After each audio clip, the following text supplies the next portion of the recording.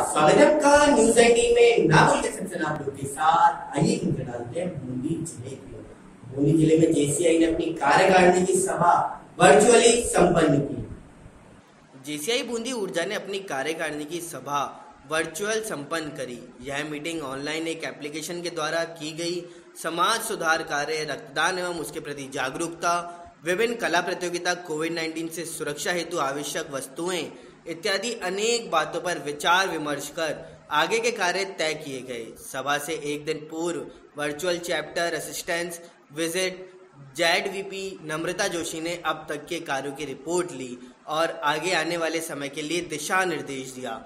इस सभा में अध्यक्ष ख्याति भंडारी, सचिव श्वेता भंडारी, कोषाध्यक्ष नंदिनी विजय आईबीपी सोनल नवाल, सह सचिव नितिका माथुर, लोम director Sadhana Nyati, BP Sunita Somani, doctor Kuljeet Kaur, Sonu Singh, Ankita, Naval Preeti Daulatani मौजूद रहे। इस खबर में सत्ता ही देखते रहिए न्यूज़ आई नमस्कार।